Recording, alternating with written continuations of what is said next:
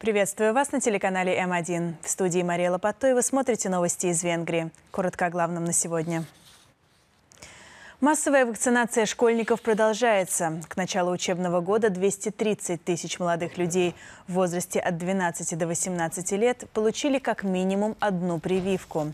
Госсекретарь Иштван Дёрть обратил внимание на то, что количество заражений растет. Поэтому важно, чтобы каждый воспользовался возможностями вакцинации.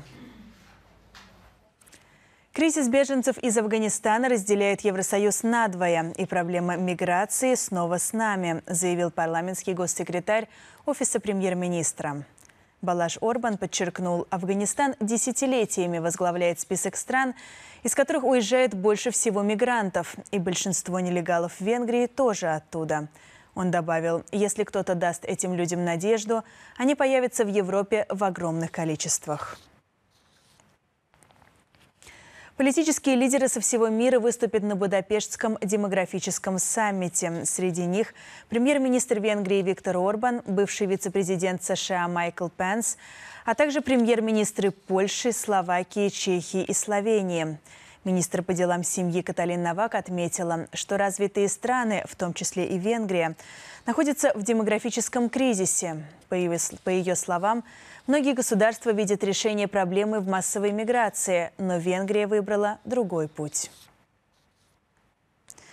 Одна из ведущих фармацевтических компаний мира заявила о желании инвестировать в Венгрии, заявил министр иностранных дел страны. Петр Сиярта пояснил, что американская компания Verian расширит свой исследовательский центр, а также модернизирует технологию лучевой терапии. Общая стоимость инвестиций составит 2,7 миллиарда форинтов, которым правительство добавит 490 миллионов форинтов поддержки. Гарантированное энергоснабжение и обеспечение необходимым сырьем – это ключевой вопрос национальной стратегии, заявил министр инноваций и технологий на дне горнодобывающей промышленности в городе Дюндюш.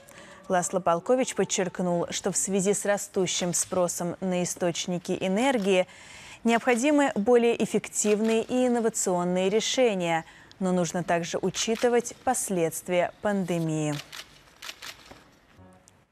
И это все новости на сегодня. Спасибо за внимание. Увидимся завтра в это же самое время. Всего доброго и спокойной ночи.